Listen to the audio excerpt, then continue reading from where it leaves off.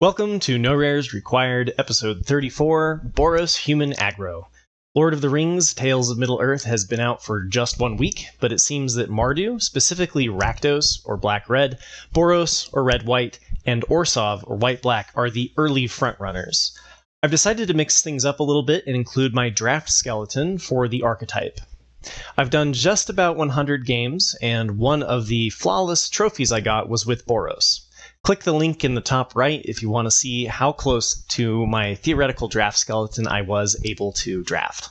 I really loved Phyrexia All Will Be One, and this archetype feels like it's directly from that set. Focus on two drops, four or five pieces of cheap interaction to remove early blockers, and seven or less cards that cost four or more. If you're still unfamiliar with the cards and the draft skeleton is overwhelming, don't worry, I'll cover each one and some alternatives individually. Also, I will include when the card is average last seen at, since in my experience, finding an open lane produces better results than drafting by win rate alone. First up, we have Rally at the Hornburg. For one in a red, you create two 1 1 white human soldier creature tokens, and humans you control gain haste until end of turn. This is my top common for Boros. We just came out of March of the Machine where we had Ral's reinforcements, which worked quite well in Izzet because of Convoke synergies. We don't have Convoke payoffs in this set, but the haste card synergizing with tokens, as well as triggering two humans entering the battlefield, make this a top red common. I think the secret is out though, since these are gone around pick 5. Next up, we have Errand Rider of Gondor, a 3 2 for 2 and a white that when it enters the battlefield, you either loot, which is draw and then discard, or just draw if you have a legendary. The majority of uncommons, rares, and mythics are legendary creatures, as well as any creature that is your ring bearer. If you aren't sure what the ring emblem does, go check out my overview guide that covers the mechanics of the set. Just don't pay attention to what I have to say about black. I can't always get it right, especially without early access. Errand Rider of Gondor also is a top common that is gone by pick 4. Next up, we have Protector of Gondor. For three and a white, you create a 3 3 that also creates a 1 1 human token when it enters the battlefield. You aim to have cards that synergize with humans. For example, Rally allows you to create a 3 3 and 3 1 1s, all with haste for 6 mana. You start to get the idea. This is one, um, this has gone at a more average rate for a common, around pick 5 or 6. Escape from Orthanc is a card I'm not usually happy to play, but if you watched my gameplay video, you'll notice it works better as a finisher than Improvised Club in this archetype. There is a one cost combat trick in every color, but giving a creature flying is definitely worth one mana in this archetype. It also goes late around pick 7 or 8, so it shouldn't be hard to pick one up. Battle Scarred Goblin is a nice grizzly bear at 2, you are aggro. You want eight two drops, and the fact that this deals one damage to each creature blocking it also makes it difficult for your opponent to block it effectively. This one also goes above average for a common around pick six. Smite the Deathless is one and a red to deal three damage to target creature. That creature loses indestructible and is exiled. Aggro is enabled by cheap removal, and Smite the Deathless is great cheap removal. These are usually gone by pick 3 as premium red removal. War Beast of Gorgoroth I've loved as top end. For 4 and a red, you get a 5 4 that whenever it or another creature with power 4 or greater dies, you amass for 2. Essentially, a 7 6 over 2 bodies for 5 is great, and unlike some aggro decks, I found Boros to be best with 17 lands because it has some amazing 5 drops like War Beast of Gorgoroth. My last common worth a mention is Breaking of the Fellowship. It didn't make my draft skeleton, but it's a decent replacement if you aren't seeing enough Smite the Deathless or cheap interaction. You might be tempted by Improvised Club, the two cost sacrifice a creature or an artifact, deal four damage to target, um, since you'd think, hey, I have a whole bunch of one ones that I can use as fodder. But it doesn't do much if your board is empty, and sacrificing even a 1 1 is a higher price than I would like to pay. Now for the uncommons Fear Fire Foes. The answer if you find yourself up against an annoying Horn of Gondor. For X and a red, damage can't be pre- prevented this turn. Then you deal X damage to target creature and 1 damage to each other creature with the same controller. In a pinch, you can even cast this for X equals 0 if you think that they will try to prevent damage, but Fear Fire Foes is sadly sorcery speed.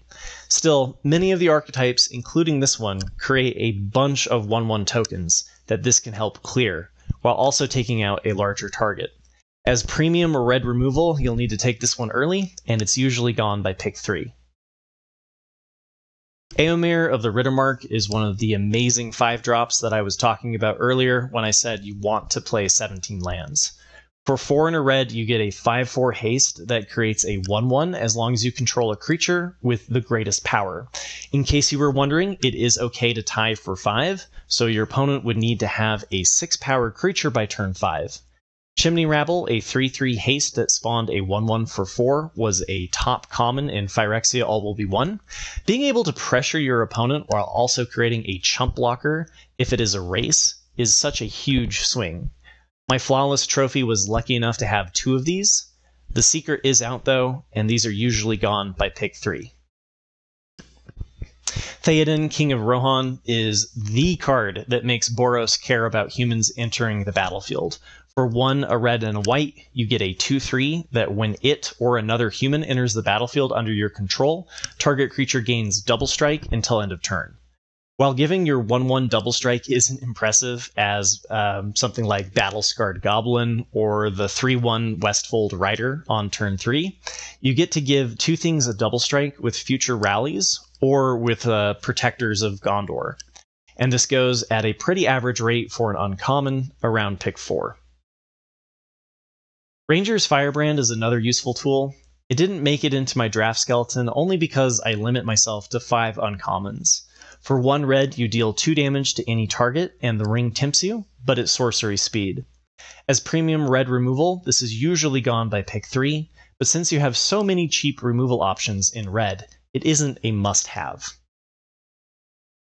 Book of Mazarbul works wonders in Boros, for two in a red, you get an enchantment saga that on chapter one amasses for one, chapter two amasses for two, and then chapter three gives all of your creatures plus one plus zero and menace until end of turn.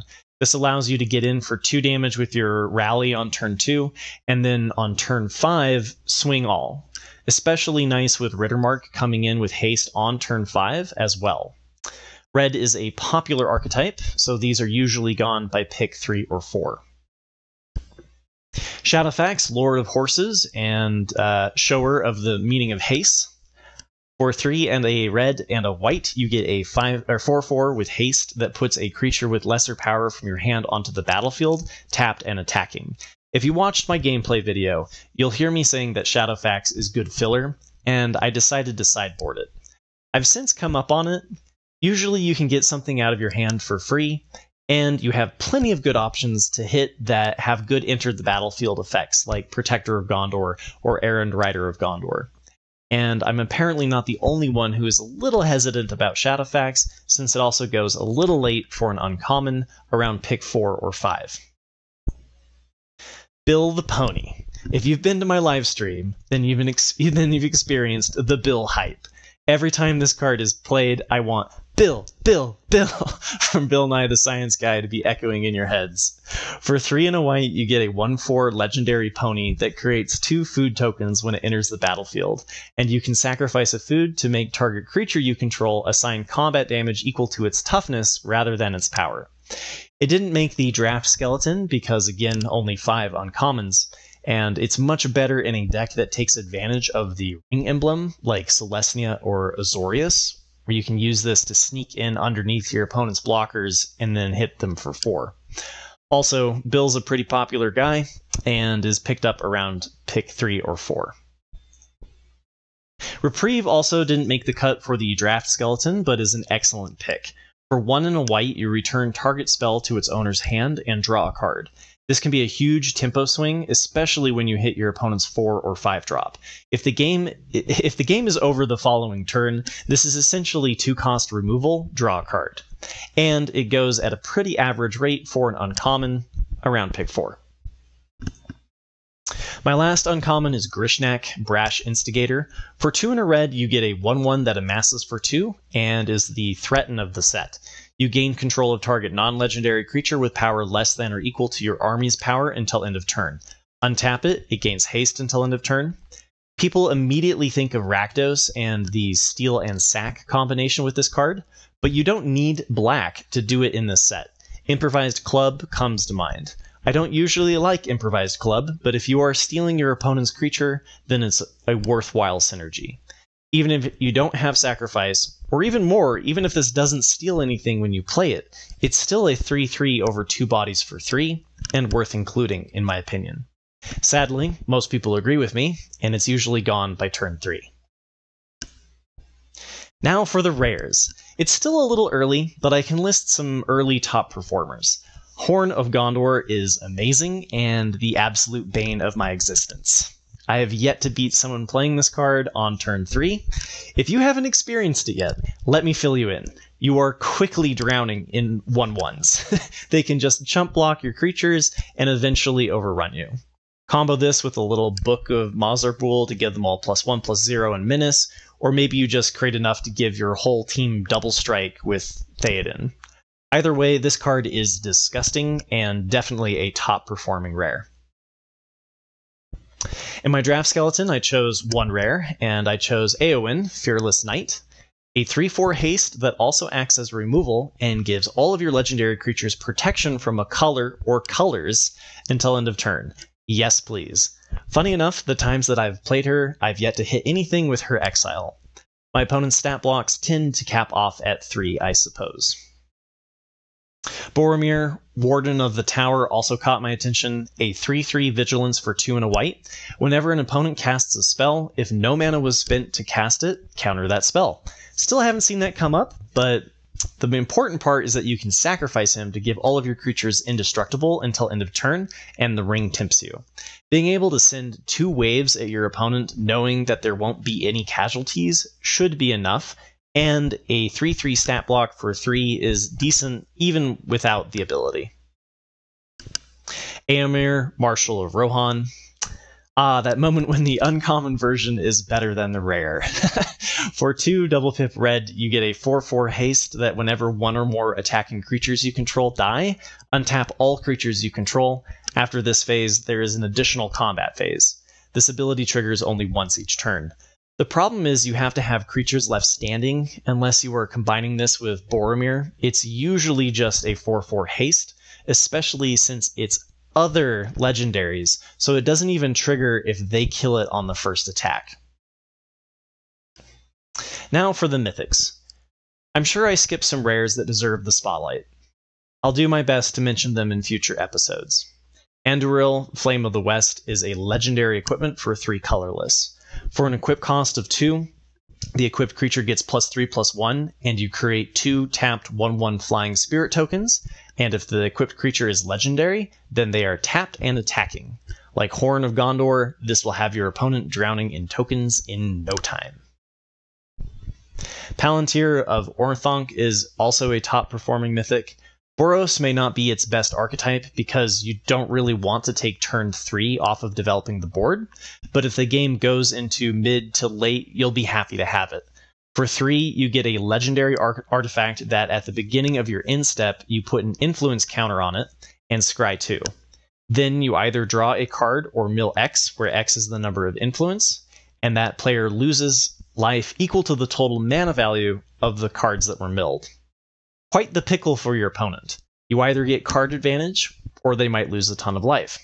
Just hope you aren't against Dimir and about to uh, deck from mill. My last mythic worth a mention is Spiteful Banditry. Still a little early to say which archetype I like this best in, but selective wraths are always welcome. For X double pip red, you deal X damage to each creature, and if something of theirs dies, you get a treasure token. That's it for my thoughts on Boros. I haven't decided what archetype I'll be diving into next week, so if you have one that you want to see, then let me know in the comments below. I've got my eyes on Azorius. Also, let me know if the draft skeleton was helpful, or if you think I missed a top performing card. Feedback is more than welcome. As always, thank you for clicking like and subscribe. Good luck with your games and future trophies. I'll see you next week.